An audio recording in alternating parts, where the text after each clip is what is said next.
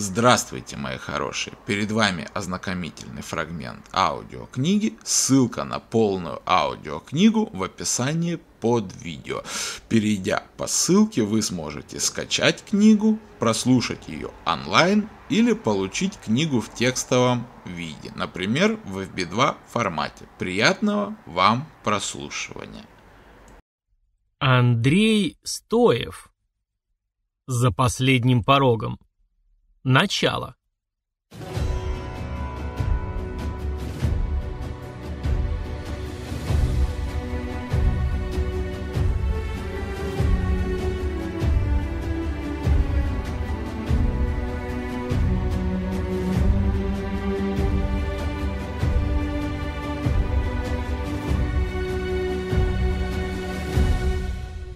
Пролог. Смерть – это не только конец пути, но и начало чего-то нового.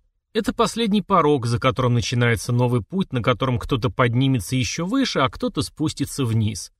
Этот порог нужно было просто перешагнуть, но я споткнулся. Меня влекло куда-то вдаль с непреодолимой силой, не оставляющей никакой возможности для сопротивления.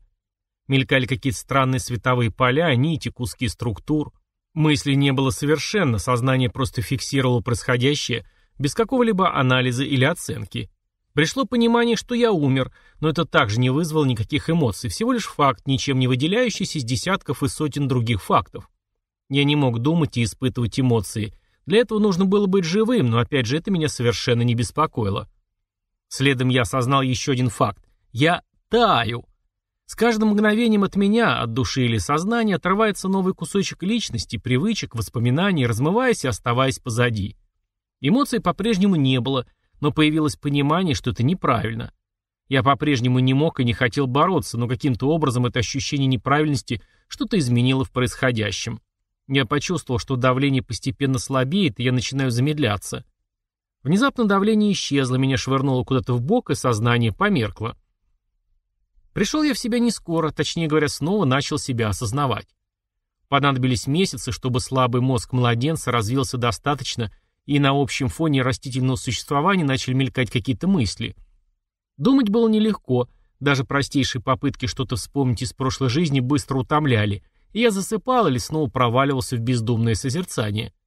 Но время шло, и постепенно способность связно мыслить восстанавливалась. Память, однако, сильно пострадала, и воспоминания о прошлой жизни были во многом отрывочными, а частью даже просто непонятными. Остался ли я той же самой личностью? Не знаю. Хотелось бы верить, что да. Много ли мы помним о себе десятилетних в 60? Но личность остается той же самой, стало быть, есть еще что-то, что делает нас теми, кто мы есть, принципы, воззрения, привычки. Впрочем, вне зависимости от ответа на этот философский вопрос, придется жить с тем, с чем придется. Оставалось лишь надеяться, что с развитием мозга воспоминания вернутся. Не сказал бы, что младенческое существование было очень уж утомительным, просто в силу того, что осознанное бытие занимало не так уж много времени – я старался больше думать и узнавать мир вокруг, но получалось это не то чтобы очень уж хорошо, хотя прогресс определенно наблюдался. Больше всего раздражало хождение под себя, но с этим оставалось только смириться. На горшок меня никто сажать не собирался, да и что толку, если я себя никак не мог контролировать. Организм делал в пеленке по своему графику и совершенно не интересовался мнением мозга по этому вопросу. Все, что я мог, это потребовать смены пеленки, и я дисциплинированно ревел, как и полагалось младенцу. Через какое-то время мозг немного развился, и жить стал поинтереснее. Непонятные пятна постепенно стали складываться в очертания предметов, приобретая цвет и объем. Кровать, грудь, какая-то мягкая игрушка, заяц, енот. Рука, которая, несомненно, была моей, хотя таковой почти не ощущалась. Вообще надо заметить, что мускулы у меня, казалось, жили собственной жизнью. Было практически невозможно просто взять игрушку, рука дергалась почти непроизвольно. Можно было только улучшить момент и вцепиться. Хватательные движения получались неплохо. Постепенно удалось идентифицировать окружающих людей. Женщина, кормившая меня грудью, надо заметить, молодая и очень красивая, была, несомненно, моей матерью. Однако часто меня кормила другая женщина, которую я затруднялся как-то обозначить. Кроме того, часто рядом оказывался еще один младенец. Брат, сестра, непонятно. Примерно тогда же произошло неприятное событие, которое меня порядком напугало. Я проснулся от того, что меня довольно грубо тыкали пальцем. Надо мной склонилась женщина с холодными глазами, рассматривая меня равнодушным взглядом гадюки. Мать говорила ей что-то резкое, а та что-то лениво цедила в ответ. В конце концов она отвесила матери презрительную пощечину, и та замолкла. Она еще раз довольно больно ткнула меня. Я просто взбесился от злости, неожиданно для себя заплакал. Тфу. Так у меня состоялось знакомство с бабушкой, которых, к счастью, продолжения не получила. Хотя инцидент на этом и закончился, я вдруг осознал, что мир вокруг не вполне уютное место, а я еще как минимум лет 15 буду совершенно беспомощным. Конечно, варианты развития у ребенка довольно ограничены, но просто сидеть и ждать, когда вырастешь и станешь большим и сильным, это опасный путь. Я твердо решил использовать любую возможность стать сильнее, и скоро такая возможность неожиданно подвернулась. Я лежал в кроватке и, повернув голову, наблюдал за матерью, которая уронила что-то мелкое вроде иголки, и в полголоса, ругаясь, пыталась ее найти. Дело было вечером, люстра под потолком светила не очень ярко, и разглядеть потерянную мелочь на полу было почти невозможно. Внезапно мир как-то беззвучно качнулся, и над головой у матери появился крохотный яркий шарик. Я просто оторопел от изумления. Довольно быстро мать нашла потерянный, шарик потух, и мир стал прежним. Нет, мы охотно представляем себя с волшебной палочкой и все такое, но как бы мы ни рассуждали о плетениях, мании и тому подобных вещах, все мы понимаем, что магия — это фантазия, которой в реальной жизни места нет. И вот я своими глазами вижу что-то совершенно противоречащее привычной для меня картине мира. Отрицать или игнорировать это было невозможно. Мать действительно создала нечто, испускающее свет. Сомнения еще оставались, но было сложно объяснить увиденное иначе, чем каким-то видом магии. После этого я стал пристально наблюдать за матерью и быстро обнаружил, что она довольно активно, хотя и по мелочи, использует магию в повседневной жизни. Немного посветить, притянуть небольшую вещь, до которой трудно дотянуться, подогреть остывший чай, было удивительно, как я раньше всего этого не замечал. Вскоре я понял, что ее действия как-то связаны с легкой дымкой, которая затягивает буквально все. Эта дымка никак не мешала видеть окружающее, да и виделась она скорее не глазами, оттого я раньше не обращал на нее внимания. Точнее, просто решил, что это что-то возрастное, что пройдет позже само, когда глаза полностью разовьются, и выбросил это из головы. Теперь я стал целенаправленно приглядываться, и очень скоро выяснил, что эта дымка не совсем однородна. Когда мать создает, например, шарик света, то дымка рядом как бы стягивается и формирует некую структуру. В целом это было довольно похоже на какую-то разновидность поля, хотя было не совсем понятно, от чего зависит его конфигурация и каким образом в нем создаются неоднородности. Поскольку никаких приспособлений мать не использовала, дело явно было в волевом усилии. Но как она это делала? Палочкой она не махала и никаких бессмысленных слов не выкрикивала. Постепенно я начал понимать принцип. Нужно было выделить определенную точку и стягивать поле в нее. Даже небольшое повышение концентрации внимания выбранной точке требовало огромных усилий, и результатом обычно была сильная усталость, переходящая в сон. Но все равно это был результат, и я был полон энтузиазма. Собственно, больше мне делать было практически нечего. Мать работала, и я часто был предоставлен сам себе. Когда мать работала, за нами приглядывала вторая женщина. Пригляд был неплотный, да и вообще с нами никто особо не нянчился. Не то чтобы нас предоставляли самим себе, просто мы были спокойными детьми, а у взрослых хватало своих забот. Здесь надо рассказать об обитателях квартиры. Где-то месяцем к 6-7 я уже составил полное представление об окружающей обстановке и людях. Во-первых, это моя мать, которую звали Милослава или просто Милой. Второй младенец оказался девочкой Леной, и ее мать звали Натой. Жили мы все вместе в довольно приличной трехкомнатной квартире. Не нищета, но скорее благородная бедность. Непонятно, были ли мы родственниками или просто соседями, но причина совместного проживания была довольно очевидной. Мать и Ната работали, и мама еще и училась, во всяком случае она часто сидела за учебниками. Вдвоем у них получалось по очереди кормить детей и вообще присматривать. В общем-то, решение разумное. С приходящей няней мороки было бы гораздо больше, да и оставлять грудного ребенка на чужого человека не каждый решится. С языком, однако, было сложно, это сильно мешало понимать многие вещи. Сам язык был явно родственным русскому, но помогало это мало. Это было похоже на то, как слышится украинская или другая славянская речь, Ухо временами выхватывает знакомые слова, но в целом все сливается в какое-то невнятное болботание, в котором совершенно невозможно уловить какой-то смысл. Еще в нем встречались дремучие архаизмы времен слова полку Игореве, Аки, Бяше, Велми и тому подобные. Приходилось учить язык практически с нуля, хотя, конечно, с китайским или японским все было бы гораздо сложнее. С разговором дело обстояло еще хуже. Мой язык категорически не желал меня слушаться, и вместо членораздельной речи получался типичный бессмысленный детский лепет. Забавно, что у девчонки с разговорной речью дело продвигалось поуспешнее. В общем, с маскировкой попаданца дело обстояло превосходно, выдать себя песнями Высоцкого мне не получилось бы при всем желании. С Леной мы практически постоянно были вместе. У нас даже коляска была двойная, как у близнецов. К тому же без меня она хуже засыпала и капризничала, так что мы очень часто спали рядом. Как-то месяцев в девять мы также лежали рядом, она о чем-то болтала сама с собой, но я, как обычно, тренировался в управлении полем. Я уже уверенно создавал локальные концентрации поля, постепенно переходя к более сложным упражнениям по созданию форм. Вот и сейчас я немного закрутил поток, сделав шар, к которому сверху примыкали два сильно вытянутых эллипсоида. Неожиданно соседка засмеялась, ткнула в ту сторону пальцем и счастливо выкрикнула «Дая», что, видимо, означало «заяц». От неожиданности я потерял концентрацию, фигурка развеялась, вызвав протестующее хныканье. Лена насупилась, и шар снова начал неуверенно собираться.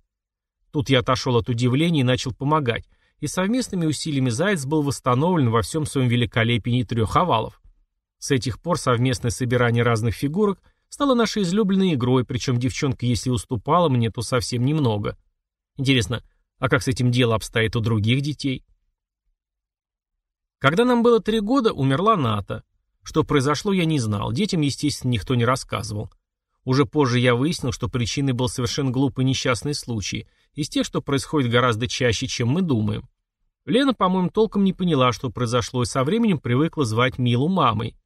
А вскоре мама наконец закончила свою учебу, мы стали жить побогаче и переехали в небольшой дом в хорошем районе. В четыре года я довольно быстро научился читать, хотя что тут удивительного. Разбираться, куда я попал и чем этот мир отличается от моего, не кинулся. Во-первых, у мамы таких книжек и не было, а во-вторых, зачем? Ясно, что мир отличается довольно сильно. И что мне даст факт, что тут не было, допустим, Наполеона? Да ничего совершенно. Мамины книжки я все же пересмотрел, правда, ничего интересного там не обнаружил. В основном это были непонятные мне медицинские справочники, жутковатые анатомические атласы, да несколько женских романов. Их я прочитал – Разницы с нашими совершенно никакой, только декорации чуть другие. Он утонул в бездонной синеве ее глаз. Грудь ее с волнением вздымалась, он впился ей в губы обжигающим поцелуем. В конце дела неизменно заканчивал свадьбой страниц на 50. Ради того, чтобы это прочитать, совершенно не стоило напрягаться с попаданием в другой мир. Женщина — это константа вселенной, что тут еще скажешь? Когда же я начал задуматься, для чего я тут, чего я хочу добиться и в чем вообще смысл моего существования, После краткого знакомства с бабушкой у меня появилась идея фикс, что я должен быть достаточно сильным и быть способным защитить себя и своих близких. Однако, несмотря на важность этой цели, на глобальную она никак не тянула. Для чего мне был дан второй шанс? Случайно ли так получилось, или же он был дан с какой-то целью? И если так, то что от меня ожидается? Типичную книжную чепуху насчет спасения мира и поворота истории я не рассматривал вообще. Даже если у этого мира есть какие-то проблемы – Наш масштаб совершенно несопоставим.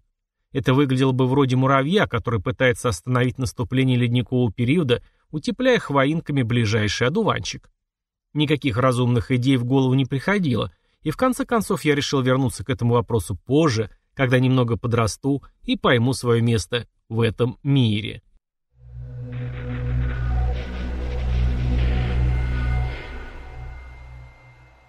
Глава первая. «Стой спокойно!» Я пытался завязать шнурок на Ленкином ботиночке, пока она порывалась уже куда-то бежать. Тут она вспомнила, куда мы собираемся, и настроение сменилось. «Не хочу в лечебницу», — заявила она. «Там щиплется». «Надо немного потерпеть, да и не сильно там щиплется. Ты же хочешь быть умной и красивой?» «Я и так красивая». «Но не очень умная. Сам ты дурак», — надулась. «Вот я потому и не капризничаю, что хочу стать умным, а ты такой останешься». Ленка замолчала и задумалась. С пяти лет мама начала проводить с нами разные процедуры. Сначала это были микстуры для укрепления костей, суставов, связок, сейчас к ним добавилось лежание в специальной камере, которое должно было увеличить скорость прохождения сигналов по нервной системе. Во всяком случае, именно так я понял из предельно упрощенного объяснения. Полный курс из нескольких десятков разных процедур был рассчитан на 12 лет. Если на взрослый организм повлиять было практически невозможно, то организм ребенка вполне можно было улучшить осторожным воздействием по мере роста. Процедуры стоили безумно дорого, требовали постоянного надзора целителя и были очень мало кому доступны.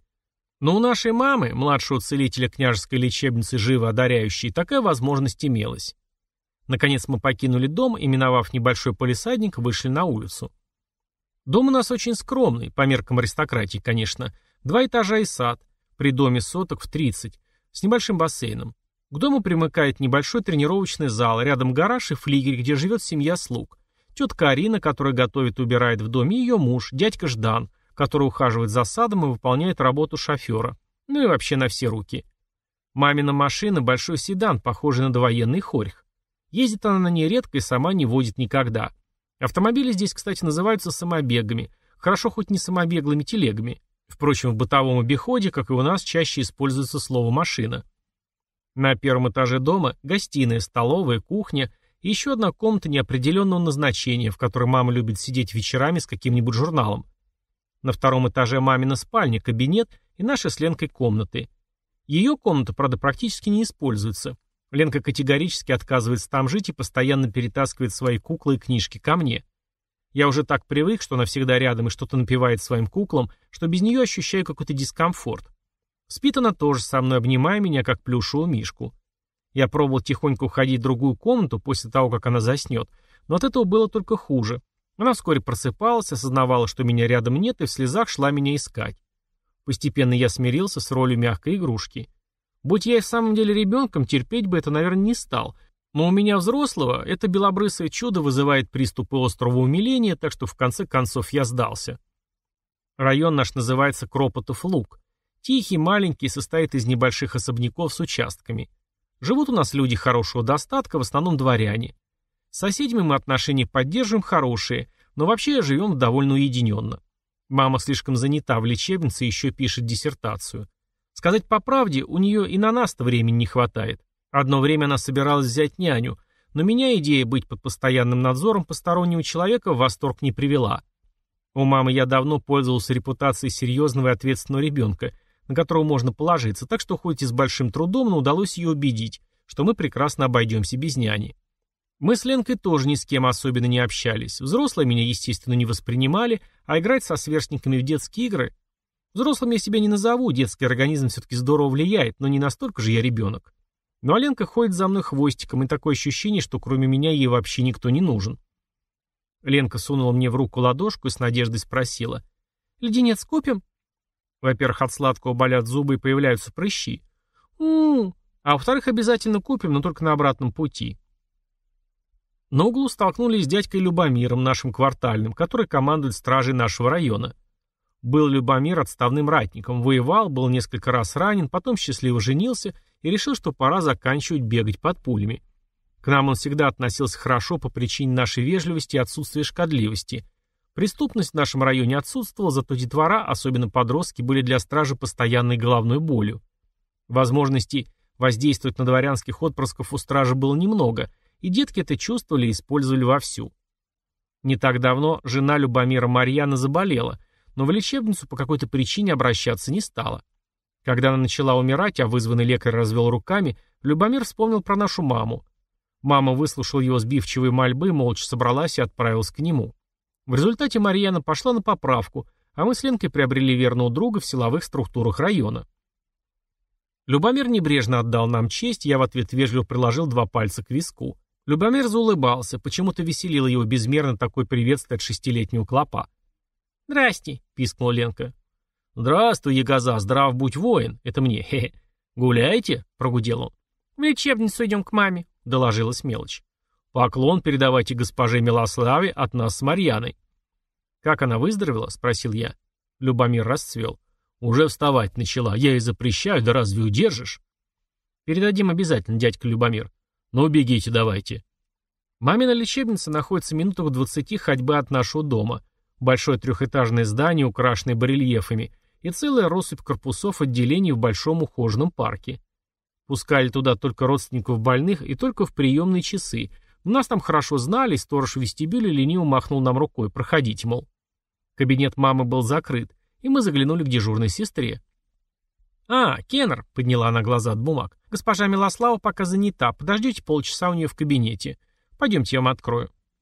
Кабинет у мамы был совсем крохотный. Стол, заваленный бумагами, полочка с медицинскими справочниками, небольшой диван.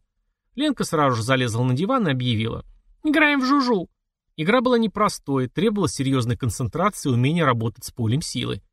Я практически всегда выигрывал, но частенько поддавался, чтобы мелкая не теряла интерес. Заключалась игра в том, чтобы создать жалящую искорку, которая обозначала пчелку, и ужалить ее оппонента.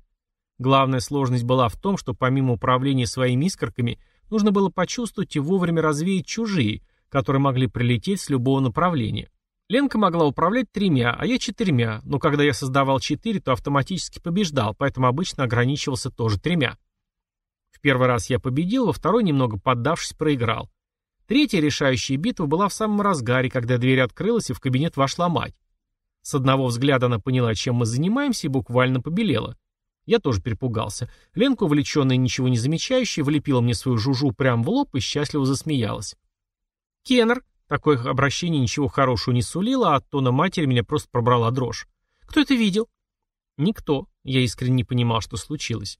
«После процедуры вы сразу идете домой и ждете меня». «Хорошо, мама. Ты меня понял? Из дома никуда». «Да, мама, я все понял». Больше мы не разговаривали. У матери явно не было настроения что-то обсуждать. Ленка тоже почувствовал напряжение и помалкивал, только смотрел на нас испуганными глазищами. Я терялся в догадках, но спросить ничего не решался.